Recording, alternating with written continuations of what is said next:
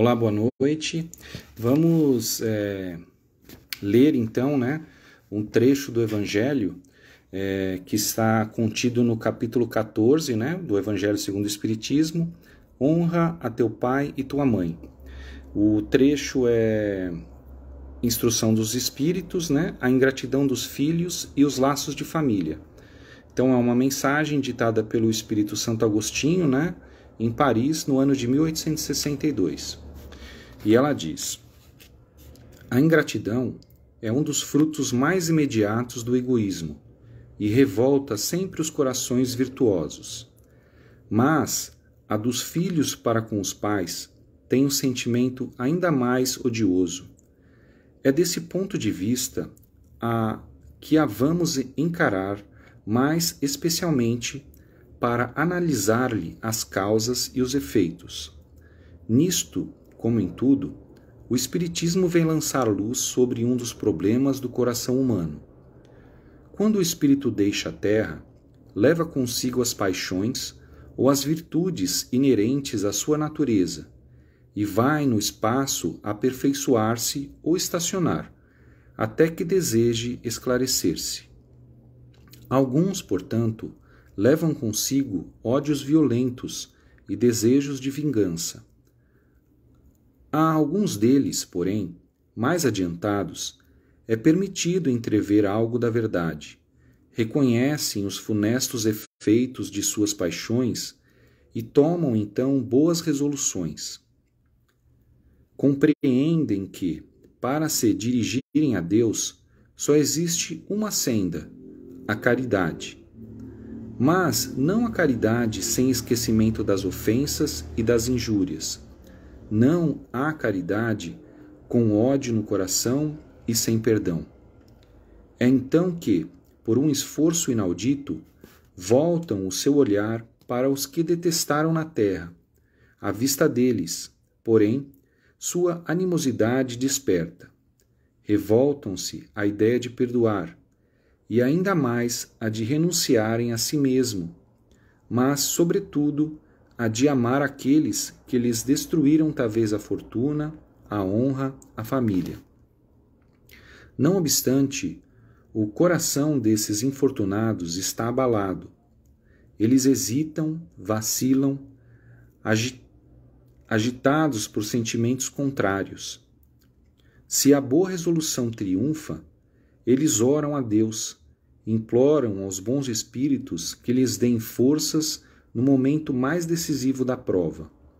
Enfim, depois de alguns anos de meditação e de preces, o espírito se aproveita de um corpo que se prepara na família daquele que ele detestou e pede aos espíritos encarregados de transmitir as ordens supremas permissão para ir cumprir sobre a terra os destinos desse corpo que vem de se formar.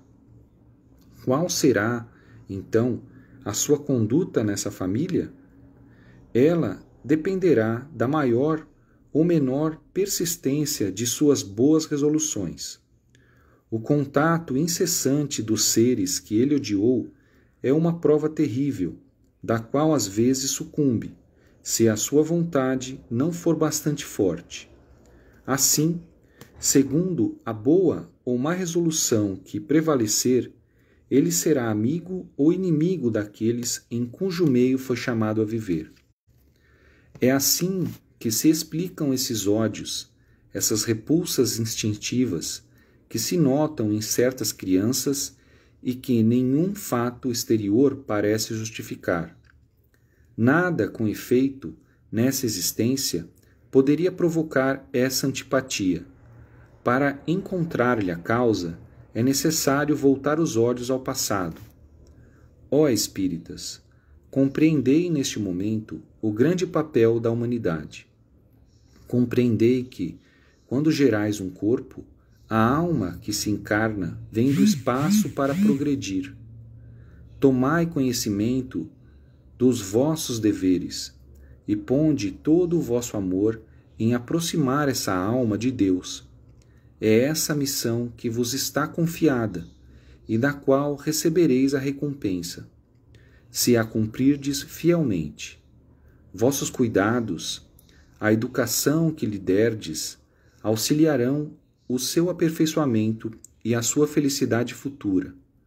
Lembrai-vos de que a cada pai e a cada mãe Deus perguntará: Que fizestes da criança confiada à vossa guarda?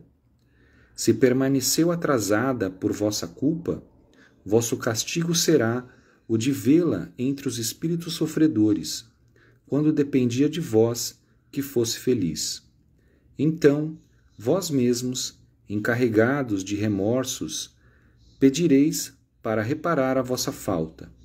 Solicitareis uma nova encarnação, para vós e para ela, na qual a cercareis de mais atentos cuidados, e ela, cheia de reconhecimento, vos envolverá no seu amor.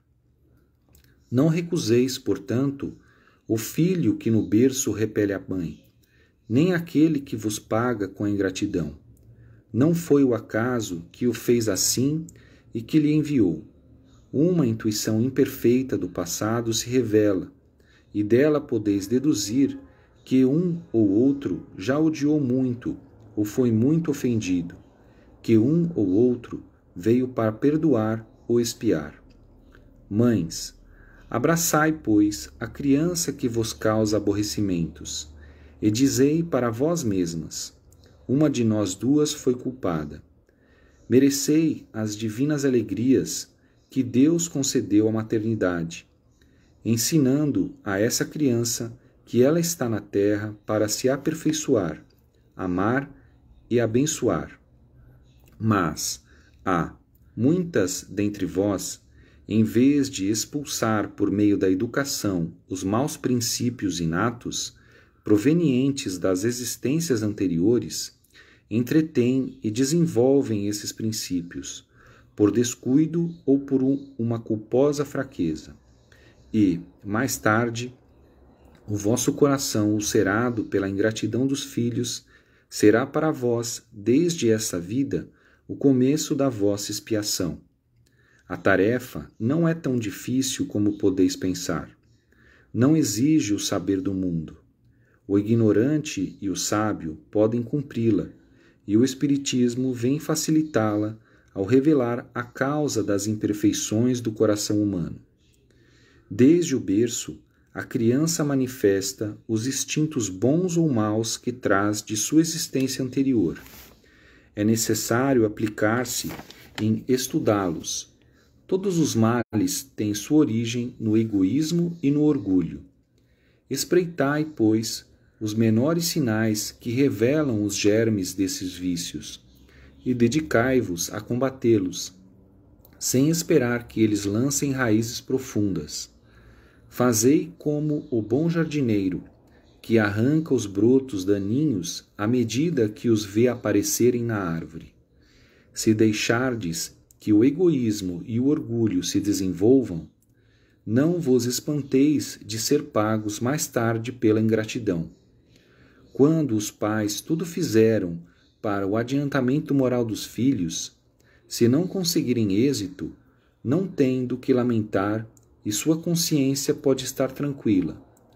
Quanto à amargura muito natural que experimentam pelo insucesso de seus esforços, Deus reserva-lhes uma grande, imensa consolação pela certeza de que é apenas um atraso momentâneo e que lhe será dado acabar em outra existência a obra então começada, e que um dia o Filho ingrato os recompensará com o seu amor.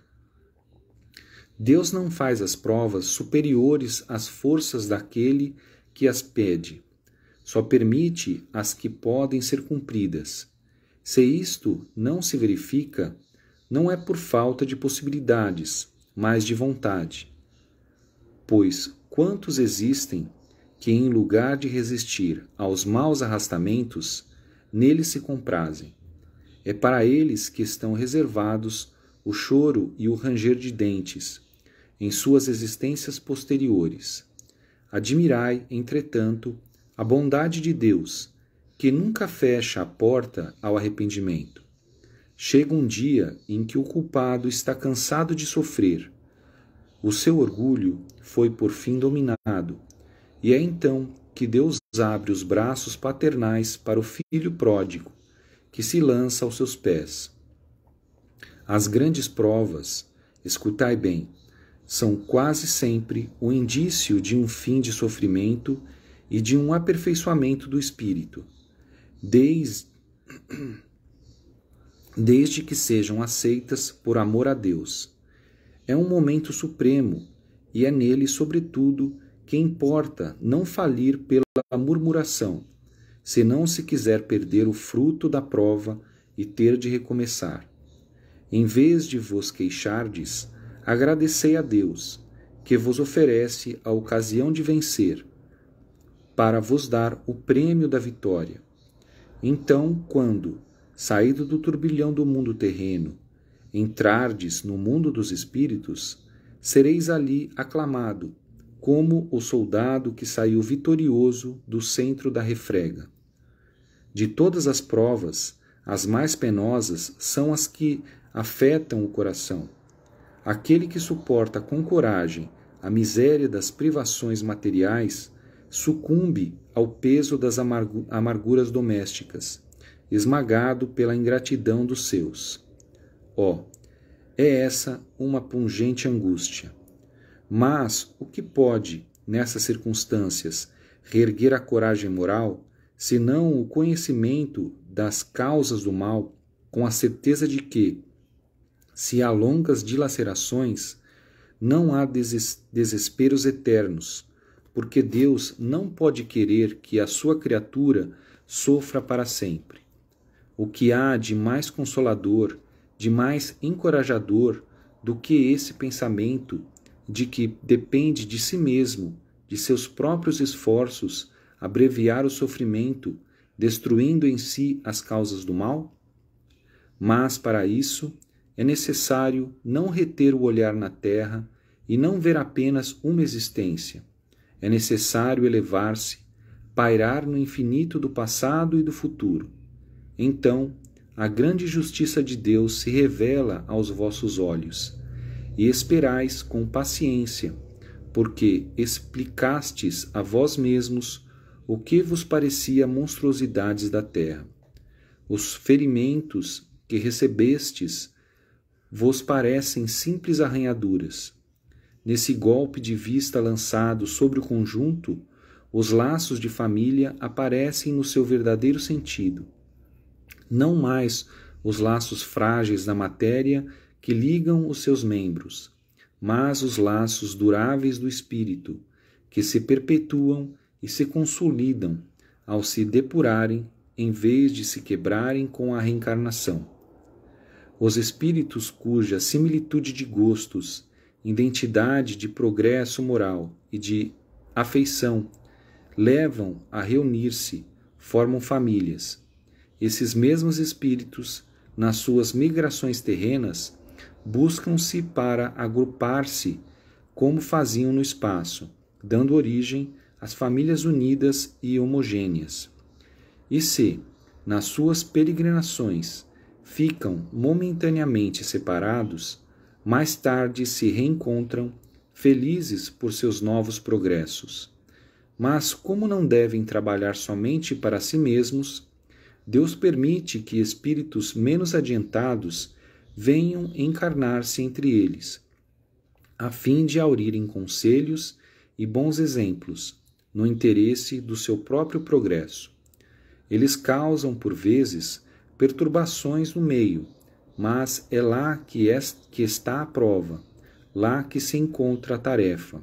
Recebei-os, pois, como irmãos, ajudai-os e, mais tarde, no mundo dos espíritos, a família se felicitará por, as, por haver salvo do naufrágio os que, por sua vez, poderão salvar outros. Então, é uma mensagem longa, né?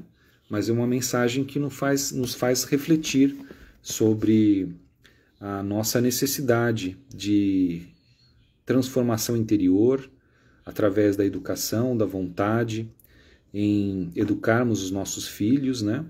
E buscarmos assim é, criar laços que nos façam é, nos façam unir e, e também progredir como família. Então agradeço a todos que acompanharam e que possamos ter uma, uma excelente noite, né? E possamos nos preparar aí para o Natal, para esse momento que vem chegando, onde recordamos novamente o nascimento de Jesus. Obrigado, uma boa noite, que Deus nos abençoe. Tchau, tchau.